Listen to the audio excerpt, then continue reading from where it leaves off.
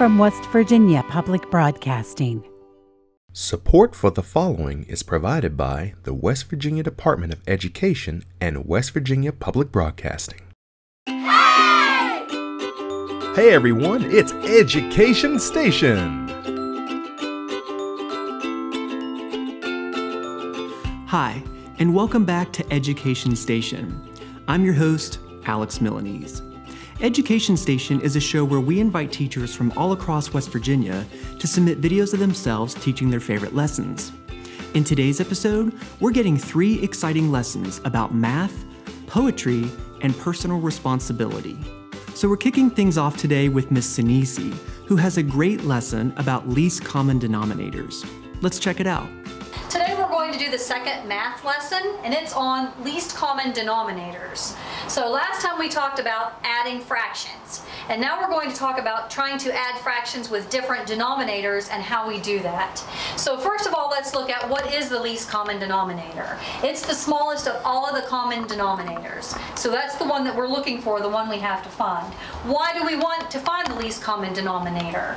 Um, because we can't add fractions with different denominators. They have to have the same denominator, so therefore we have to find the least common denominator.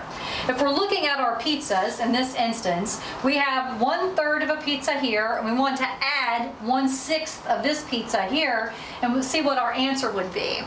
So, and this we can't add because we have a 3 here and we have a 6 here. So let's find the least common denominator.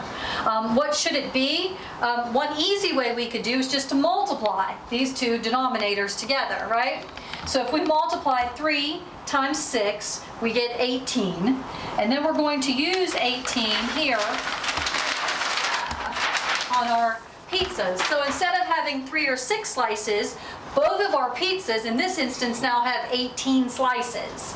So here are all of these slices. So we can change this to 6 18ths on this pizza, and there are 3 18ths on this pizza. Now since we have 18 here and 18 here, and that's a common denominator, we can add the numerators. So 6 plus 3 equals 9, and then we just bring the 18 over. So in this instance, our pizza has 9 eighteenths.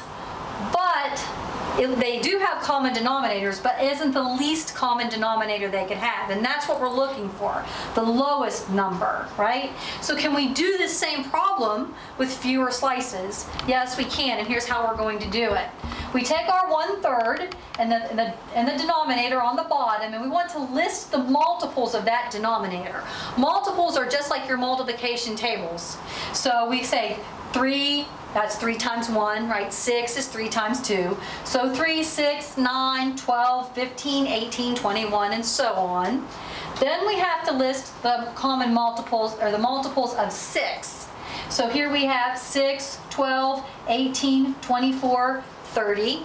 So we compare these two lists of numbers to look for the lowest number they have in common. So that says, what is the smallest number that both of them have that are the same?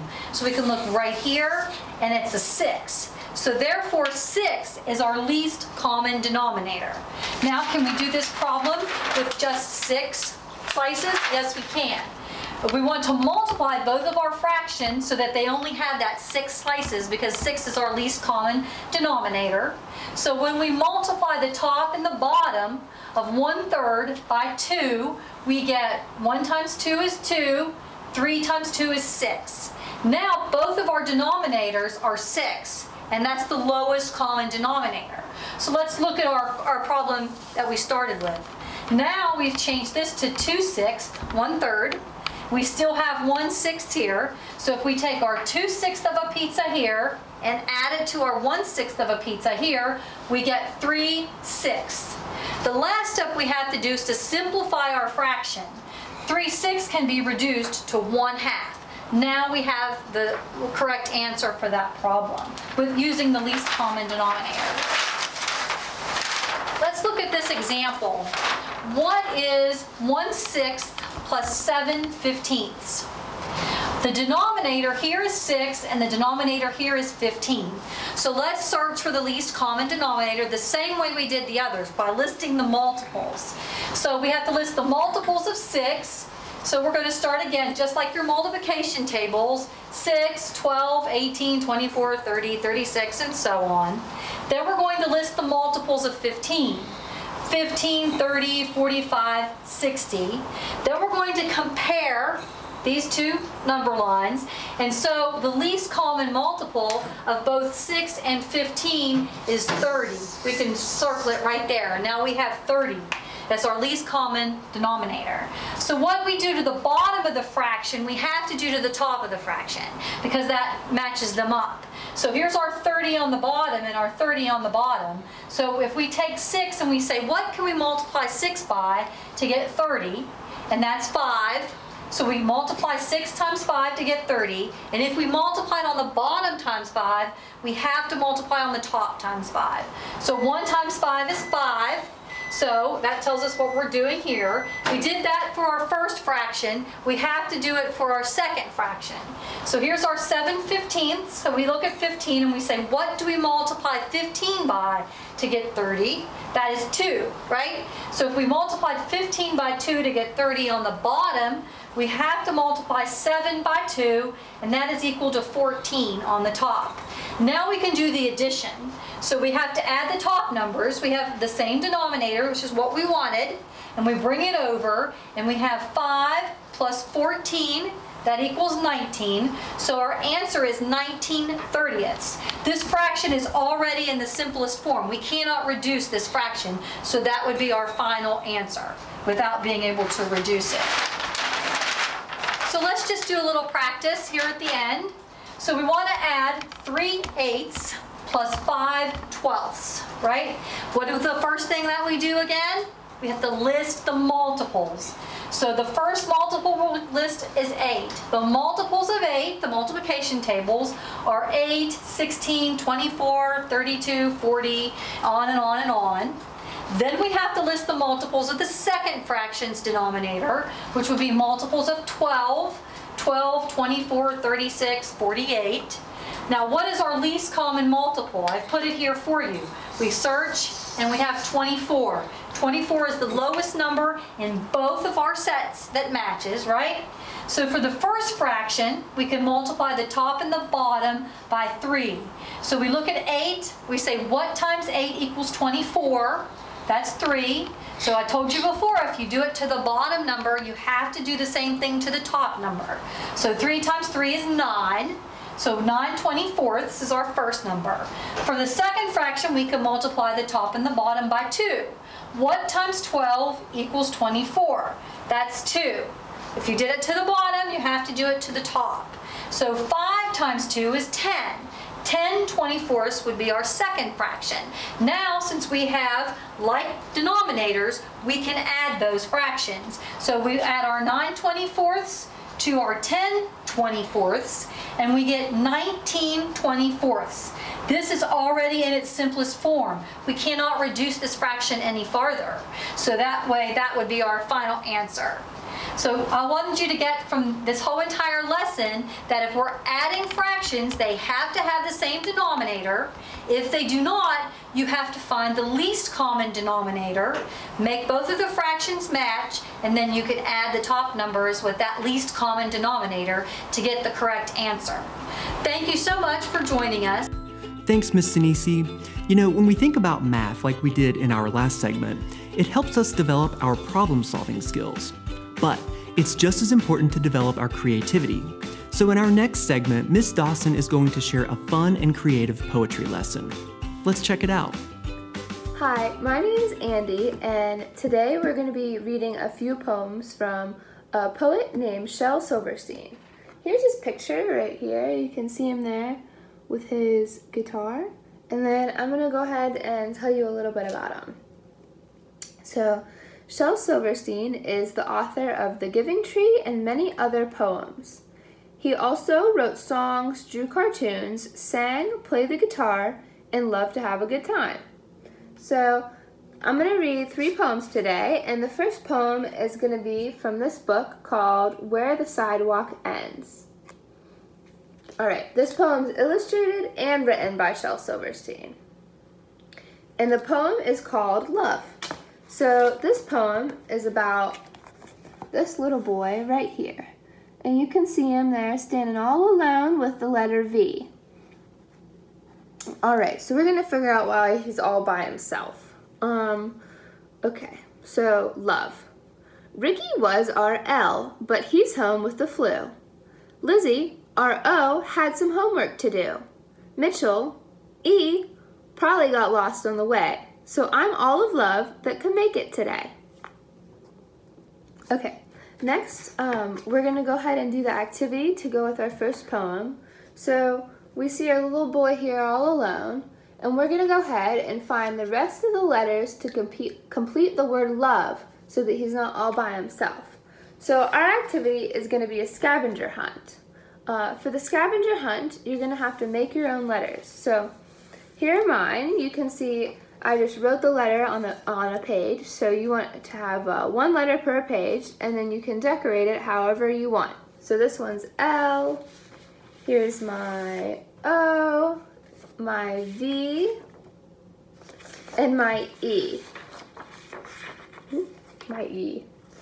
Okay, so what we're gonna do um, is go ahead and write them on the pages and then decorate them however you want and then you're gonna have somebody else hide them for you all around your house. And then you can go and look for the letters, and when you find the letters, you're gonna wanna go ahead and put them in order. So we have our, again, we have our L, O, V, and our E. And that'll spell love. All right, that's all for our first poem and the poem that goes with our first activity.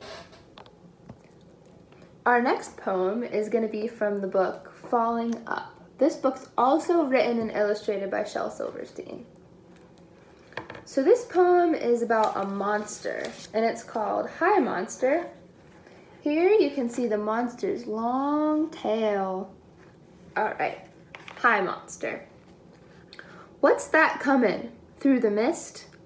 The Hi Monster. He's running free and if his tail is as long as this, just think how big the high Monster must be. You can see how big its tail is here. It stretches two whole pages. You see it? It has scales on it. All right, so that's all for our second poem. Okay, so the activity for our second poem is gonna be, um, what we're gonna do is I want you guys to draw a picture of what you think the high Monster is gonna look like based off of his tail. So let me find the poem again. Hold on a second. I lost my bookmark. Here it is. Okay, so here's the monster's tail. You can see there with its scales. It's real long. And we know the monster is supposed to be big. So you guys can draw a picture, whatever you think that it's gonna look like. Here's mine. So my monster is fluffy and he has a scary face and mouth and a funky nose and big bushy eyebrows and small wiggly arms and some legs to match his arms. And then there's his tail. And you can see he has the scaly long tail. All right, what do you guys think the monster is gonna look like? Go ahead and draw whatever you think it'll look like. You can can be anything you want. All right, that's all for our uh, for our second activity. Okay, so our third poem is from a book called A Light in the Attic. And this book is also written and illustrated by Shel Silverstein. So the poem is about a rock and roll band. And you can see the rock and roll band down here below. They're playing all their instruments. All right, let's go ahead and get started. Rock and roll band. If we were a rock and roll band, we'd travel all over the land. We'd play and we'd sing and we'd wear spangly things if we were a rock and roll band.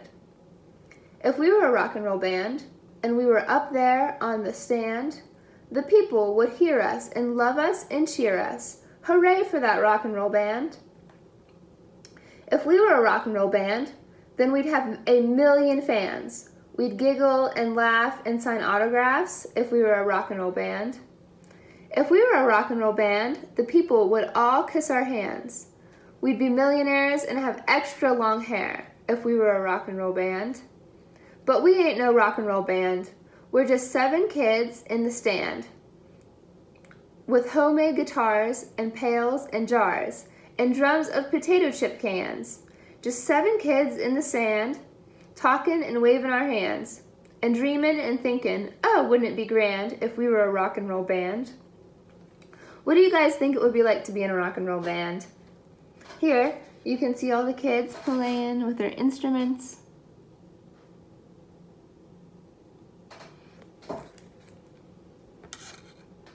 Okay, for uh, activity for a third poem about the rock and roll band, we're gonna go ahead and make some instruments.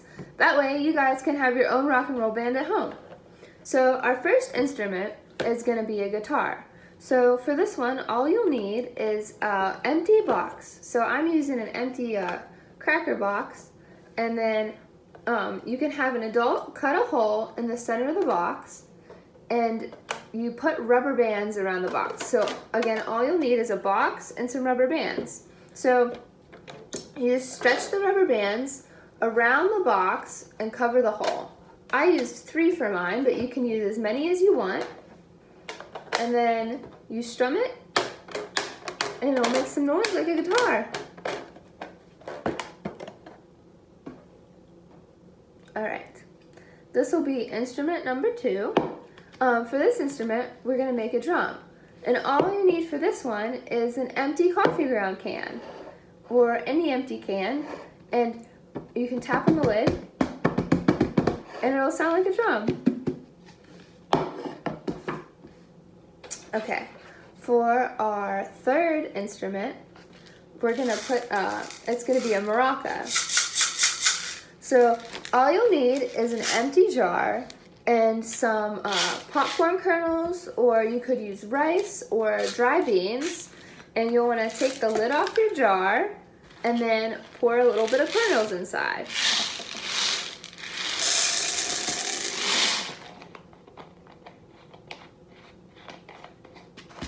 And then you can shake it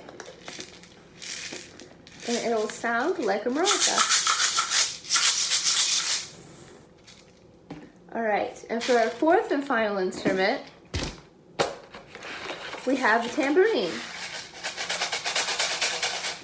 Uh, for the tambourine, you'll need two paper plates, just like these ones. And then you can, um, what you'll do is you can punch, hole punch little holes in the sides, and then get some ribbon and then thread the ribbon through the hole and tie it so your plates stay together, just like this. And then you'll tie the first two on, and then um, before you tie the last one, you'll want to pour some rice inside and then close it up. So um, you can also use beans or popcorn kernels for this one. So I'm going to go ahead and use some rice. And then, let's see, you just oh, make a little hole, pull, pull the plates apart a little bit. You're gonna pour some rice inside. And then you can tie your final ribbon and make sure it's closed up really good. And then you have your very own tambourine. All right. Um, and there are lots of other instruments you can make with stuff around your house. You just have to use your imagination. Um, all right, that'll be all the day for our poems. Thank you guys for joining me and reading our poems, and I hope you have fun with your activities at home. Thanks, Miss Dawson. Okay, our final stop today is with Mr. Harris, who's going to discuss the importance of personal responsibility. Let's check it out. Hi, my name's Jim Harris. I'm the Associate Director of the Autism Training Center at Marshall University. We've collaborated with the West Virginia Department of Education's Office of Special Education and Student Support to create the West Virginia Behavior and Mental Health Technical Assistance Center. We're excited to continue that collaboration as we partner with public broadcasting and WVDE to help provide information to families during the challenging time of the COVID-19 pandemic. In this video, I want to talk to you about one of my favorite topics, which is how do we build responsibility into our child's day? Now, why is that such an important conversation? And why is building responsibility such an important thing? Because ultimately, the goal of parenting isn't just to raise children, but to develop functional adults. And one of the key things in helping us develop the competency of our own children is to slowly through childhood give them the opportunity to take on developmentally appropriate responsibility and build their competency. So when I start talking about things like chores and things like that, we got to first start with why are chores important? Why is responsibility important to be an essential part of your child's day? And again, a developmentally appropriate responsibility. Well, if we're thinking that chores are for kids to pay the price or because um, we want them, uh, want to break them down with different tasks and things like that, we're missing the point of the importance of chores. There's two main reasons why responsibility is such a critical part of our child's daily life. When the first one is competency. Now, what do we mean by competency? Competency is the feeling and the satisfaction when you know you've you're capable of doing something. So, if we look at the main goal of parenting, the main goal of child development, it is to develop into a functional adult. It's to develop into a person who can contribute to society. So if we're looking at that as a key outcome or kind of beginning with the end in mind, then what we what our job is in child development is to provide children experiences to build competency, to build ability to deal with things, solve problems, develop skills. So competency comes from being given a responsibility, being given support and how to uphold or, or um, meet that responsibility, and then have mastery over that responsibility or task. So when we look at what chores um, represent, it's the opportunity to develop mastery over responsibility. And for kids, that becomes a key part of self-confidence or self-esteem, self-concept these things that help them in their future life. The second thing that makes having responsibility a part of a child's daily life so important is the ability to add value to others around you. So what chores offer is the opportunity to add value to the family, to add value to school, to add value to the community. So when we give a child responsibility, what we're saying is you're a part, a meaningful part of this group, this family, this classroom, this community. And too often with kids, we talk about what everybody does for them. And if we allow that to uh, be the primary focus, then that creates a very one-sided psychology for kids, meaning they just expect to be taken care of. They just expect things um, to come to be done for them. When what we really want to develop, to develop a more uh, balanced person, a more psychologically balanced, a more um, healthy psychology, is a, a, young person who not only understands that people do things for them, but they do things for others. So chores give our kids an opportunity to add value to others in their life. Now, make no mistake about it. I'm not telling you that, although we just said that uh, chores are so developmentally important, don't expect your kids to be super excited because you're going to give them more responsibility and give them more chores. That being said, I have had a lot of kids and when they get the opportunity to, say for example, learn to mow grass or pick out their own clothes or whatever that developmentally appropriate responsibility or task may be, where they immediately have that interest, they immediately have that sense of self-confidence or that, that, that, that rise in their self-esteem so there will be times when kids getting that added responsibility, getting that added chore or task is going to actually immediately bolster their psychology. Now, but there's also going to be times when you give that responsibility and the kid's not going to be excited.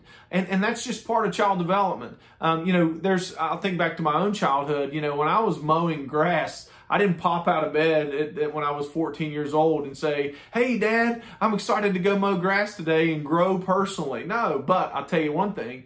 I promise you that when I finished mowing that grass, there were several times when I would look at that yard and feel the satisfaction that I did that. So keep in mind that just because kids aren't immediately seeing the value in the task or chore, um, don't let that discourage you. Understand that you're playing the long game here. The first place to start when thinking about a chore for your child or responsibility to integrate into your child's daily routine is is this chore or responsibility developmentally appropriate? Taking into consideration my child's age, intellectual ability, physical ability, is this a good chore that fits my child? If you need help figuring out what chores might be developmentally appropriate for your child, there's a lot of great resources online and also some really good ideas on social media apps such as Pinterest. Here are a few ideas you might consider for your kids. One of my favorites is having your child help take care of the family pet. This chore is great for a number of reasons. One of which is it teaches your child the experience of having another living thing that counts on them. Another is it scales really well with age, for young kids can be a part in a small way, and older kids can take almost full responsibility for the care of the family pet. Another great chore is having your child help with their own laundry. This is another one that scales really well by age and developmental ability. Everything from your child just helping carry things down or sorting by color, even to having full responsibility as they get older for the days they do their laundry and having their clothes clean and ready to go for school that week. Dishes are another great chore to consider. I like dishes because they also scale well in developmental ability and age. It can start with very basic things like helping sort silverware, uh, rinsing off dishes, putting certain cabinets away, all the way to being a more advanced chore where the child takes almost full responsibility for the chore of dishes each day. Another great chore is yard work. Now, before we go too much further, yard work, it's important that we keep an eye on safety, especially with younger children and equipment that can be dangerous. Yard work's one of my favorites because one, it gets kids outside. Two, it gets kids moving. And three, it also gives kids an opportunity to collaborate and solve problems on projects together with the whole family. I hope you found this video helpful. I want to remind you that it's critical that we find ways to build responsibility in our child's day-to-day lives. Most of all because it helps them develop a sense of competency and mastery and gives them the opportunity to add value in the lives of others. For the most current information regarding the West Virginia Department of Education's response to the COVID 19 crisis, you can go to www.wvde.us slash COVID 19. This site also has resources for families as well as educators. For more information regarding the West Virginia Behavior Mental Health Technical Assistance Center, you can go to www.marshall.edu slash BMHTAC. Thanks, Mr. Harris. All right, well, that wraps up everything for us here today on Education Station. We want to thank everyone who submitted their awesome lessons, and we want to thank you for watching. We'll see you next time right here on Education Station.